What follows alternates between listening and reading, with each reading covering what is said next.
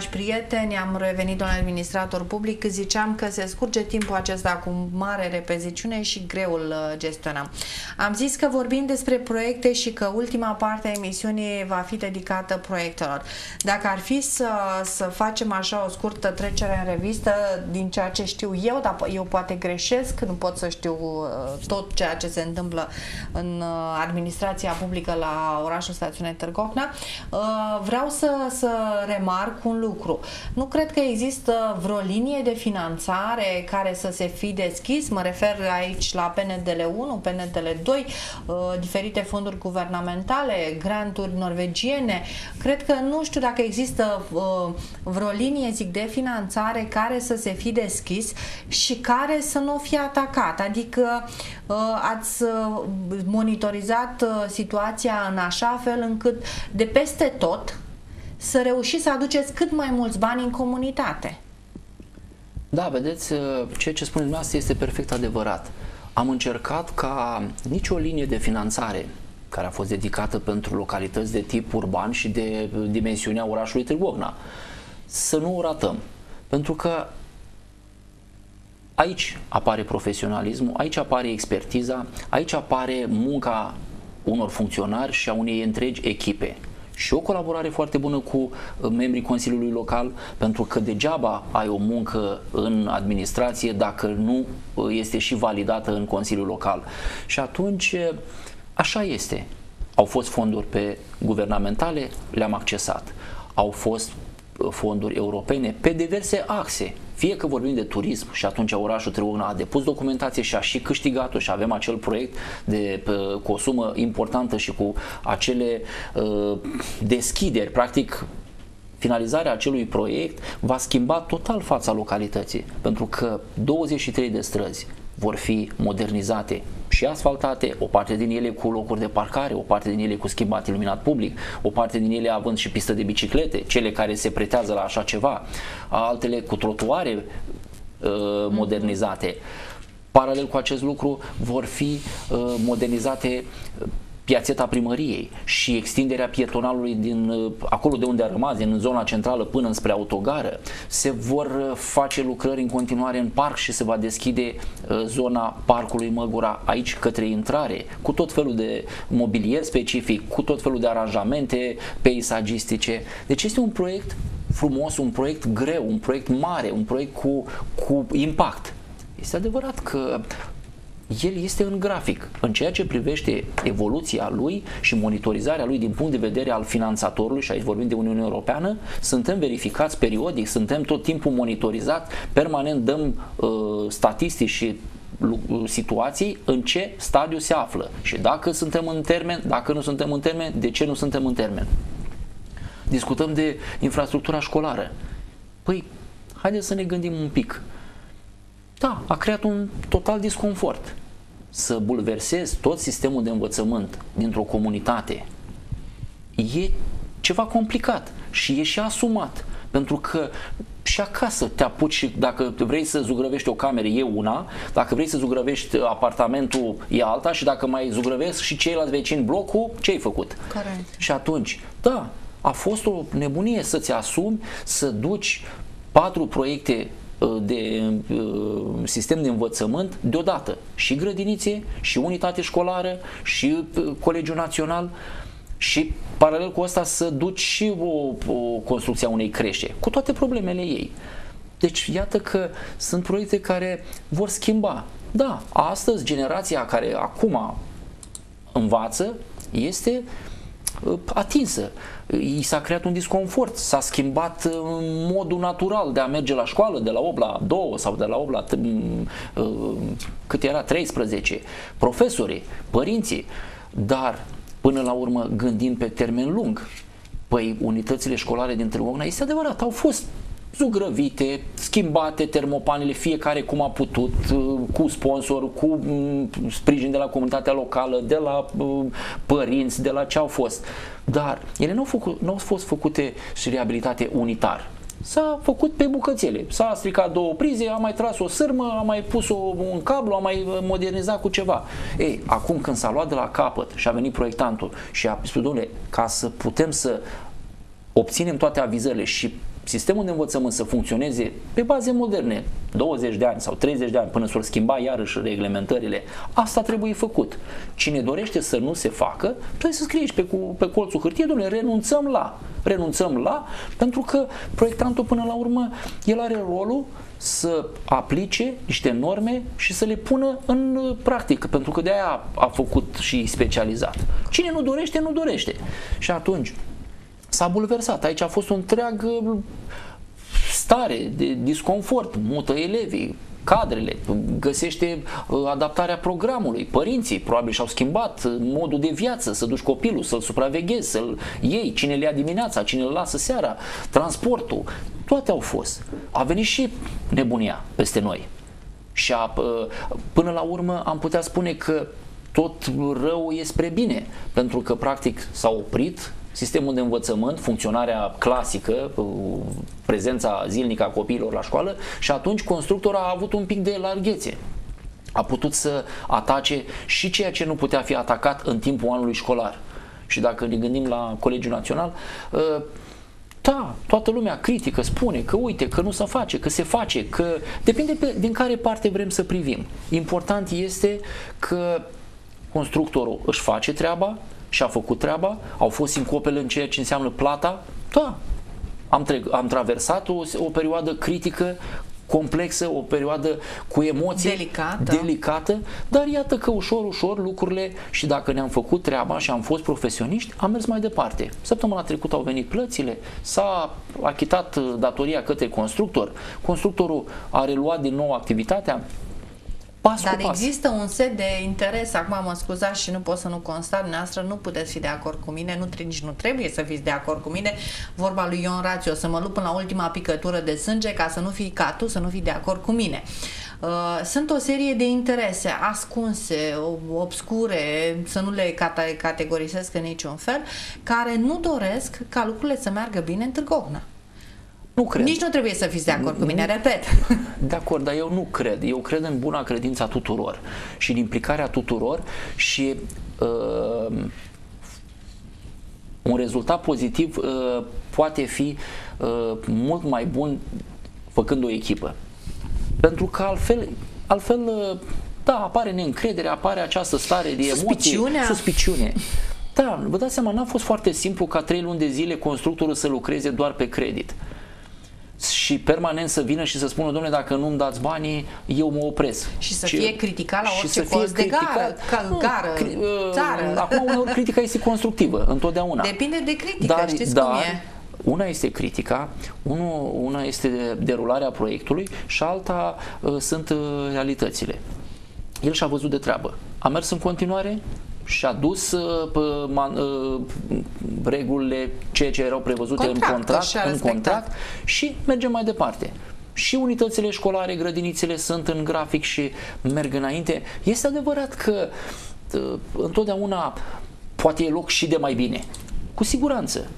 Da, dar astea sunt realitățile. Haideți să vedem care e capacitatea constructorului, pentru că toți ne raportăm să fie gata repede. Bun, dar care e capacitatea constructorului? Nu mai sunt acele trusturi care aveau zeci și sute de muncitori, nu, chiar dacă acum s-au compensat prin utilaje, pentru că ai Tehnică, utilaje da. performante da. și tehnică. Nu întotdeauna au venit plățile când trebuiau. Una e să-ți vină plățile cursiv, documentele le-am făcut. Noi în ceea ce a privit preluarea, recepțiile, uh, verificările în teren, acțiunile, controlele uh, uh, au plecat mai departe. Cine a fost vinovat că un personaj a făcut, care e și consilier local, a făcut de aici o întreagă istorie și a transmis și el a crezut că dacă gândirea lui este corectă și a sesizat toate instituțiile abilitate. Da, e dreptul lui, a consilier, e problema lui o va da, cândva își va da seama dacă a făcut bine sau a făcut rău sau a întârziat. Da, târgovenii sunt oameni cu bun Asta simț. Eu nu vreau să intru aici în, în vor detalii. sesiza lucrurile corecte și lucrurile mai puțin corecte, ca să nu zic incorrecte. Absolut, absolut. Nu e chiar plăcut așa când și în calitate de consilier local, un om care ai depus un jurământ, ți-ai asumat o responsabilitate, ți-ai asumat o demnitate să vii numai și să critici. Nu vreau să intru în partea politică, dar nu e moral, nu e corect Nu e, eu așa sunt de principiu. Da, este o problemă. Vin, mă documentez, întreb cei cu care lucrează Dom'le, ce s-a întâmplat? De ce s-a ajuns aici? Hai să vedem, eu cu ce pot ajuta? Să vedem care sunt soluțiile. Eu cu ce pot ajuta? Ce pot să fac eu? Nu așa, nu, doar să arăți cu degetul, să vii să spui că ai făcut 98% audiențe. Păi, iertați-mă, pot să certifici cei care au fost în cele 97 sau 98% audiențe. Restul e o poveste. Restul e poveste. Statistic, fiecare ne putem lăuda cu orice cifră. Pentru că matematica e frumoasă. Da, așa Dar este. Uh, realitățile trebuie să fim, până la urmă trebuie să fim corecți cu noi. Pentru că timpul, ați văzut, oricum zboară. Și uh, important este ceea ce rămâne după noi. Da, așa este. Din punctul acesta de vedere, uh, știți cum e, toți uh, uh, vrem, ne dorim să meargă bine comunitatea, dar facem și pași în această direcție. Nu doar stăm pe margine și criticăm. De altfel, românul se pricepe unii din români, că nu toți suntem așa. La fotbal, economie și politică. Extraordinar să de bine. Să criticăm, dar constructiv. Da, îmi place această idee a dumneavoastră pe care da, ați lansat-o. Pentru că nu, pot, nu putem fi toți de acord cu ceva. Perfect. Dar dacă ceea ce noi semnalăm e constructiv, e perfect. Și atunci aduce un plus valoare, indiferent ce va fi. Că e proiect, că e investiție, că e un, pur și simplu un document, că pur și simplu e o acțiune. Iată, programul PNDL 1, străzile, cu toată nebunia și cu toată sincopa lui și cu toată uh, zbaterea și dezbaterea din acea perioadă s-au încheiat. Este adevărat că sunt străzi reabilitate, dar pe acele străzi sunt, uh, acele străzi sunt utilizate permanent, traversează tot felul de sisteme de alimentație, de alimentare uh, a utilităților, cu uzura lor, chiar dacă au fost schimbate, au fost înlocuite, au fost uh, prevăzute tot felul de, uh, sau s-a anticipat că acolo ar putea să apară o avarie, dar sunt inerente și au apărut. Și atunci a trebuit să intervină N-am fost noi vinovați că odată ce strada, nu știu, dau acum un exemplu, poete în grămadă, la un moment dat, acum o săptămână sau două, au avut o intervenție cei de la gaze, că o piesă acolo din conducta de gaz a cedat. Ce puteam să facem? Să lăsăm și să nu dai aviz ca să poți să intervii acolo sau să se producă o catastrofă și mergeam pe varianta, nu știu, în garanție, discutăm după un an, când iese. E, o, e un domeniu foarte vast. Nu lucrezi cu materialul tău ci trebuie să te transpui pentru ceea ce se poate întâmpla.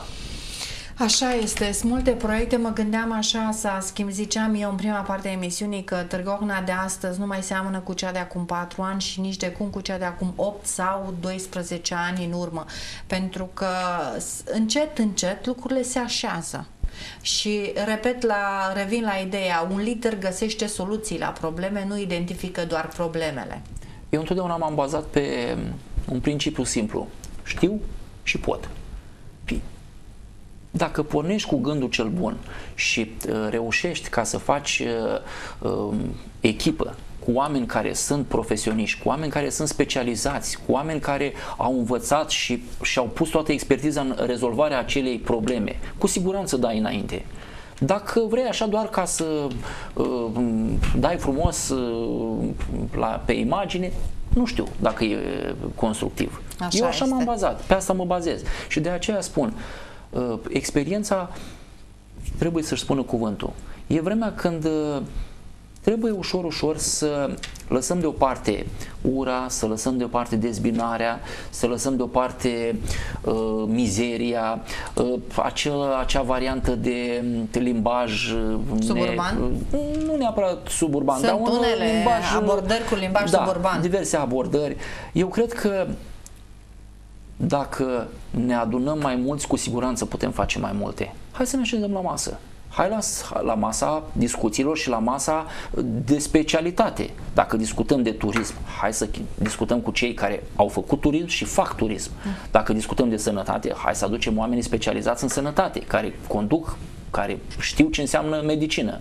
Dacă discutăm de construcții, hai să discutăm cu constructorii. Păi degeaba vrem noi să, uh, nu știu, eu acasă îmi cosesc singur uh, curtea și știu exact că o suprafață de 100 de metri o poți face într-o oră sau într-o jumătate de oră. Dacă vii în instituție Depinde și... cu ce, cu un ce utilaj, utilaj, cu un utilaj. folosești. Și dacă tu vii și ceri unuia de alături de tine cu același model de utilaj să facă în jumătate de timp, e clar, ăla nu mai are încredere în tine, știe că nu poate să o facă și atunci o va face de mântuială, doar ca să rezolve problema, sau dacă știi exact să gestionezi timpul și uh, acțiunea, cu siguranță dai înainte. După aia e să to- toți ieșim nemulțumiți managementul că nu-i gata problema, executivul că i s-a cerut într-un termen uh, și într-un și timp respectă. și nu respectă și atunci trebuie să facă un artificiu ca să uh, iasă și până la urmă pierdem cu toții. Uh, și acum, pe final de emisiune, domnule administrator public, vreau să vă întreb un lucru. Am observat că e moda să critici.